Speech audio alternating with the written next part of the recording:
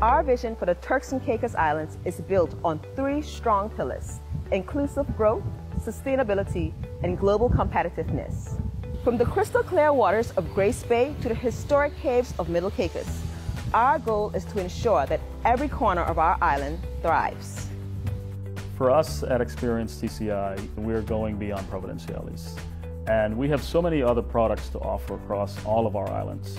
And our new initiative is we've installed new agents across each island whereby they can interact with the community, interact with not just small businesses, but be able to meet visitors so they can fully understand what North Caicos or Middle Caicos, South Caicos, Grand Turk, Salt what they have to offer, and how can we grow those sectors into something meaningful a part of our industry. Discover more at www.turksandcaicostourism.com. The last time the Turks and Caicos electorate headed to the polls, voters had to wear masks and experienced extended hours for voting due to the public health threat of COVID 19.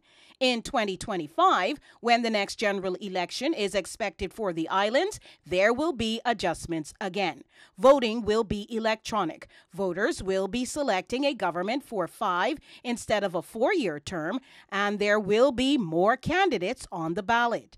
These are among the changes on tap for approval in November by the Privy Council. It changes the name of the House of Assembly to Parliament and, with effect from the next dissolution of the Parliament, changes the maximum parliamentary term from four to five years and abolishes appointed members of Parliament. On October 17th, in the TCI's House of Assembly, members unanimously supported the constitutional changes, a bipartisan advancement which culminates 10 years of consultations and substantive UK TCI negotiations after the contracting of a specialist attorney to, among other things, restore powers to the elected government and to broaden the cabinet.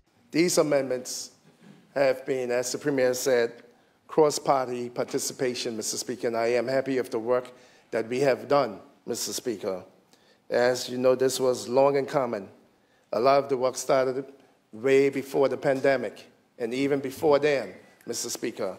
And we are happy to reach at this pace, place, Mr. Speaker. While there are still some changes to be made, including a reshaping of constituencies, members feeding from comments during a recent round of consultations, one by one, weighed in and eventually agreed that the changes, which also establish a police and defense service commission, are good for the Turks and Caicos Islands.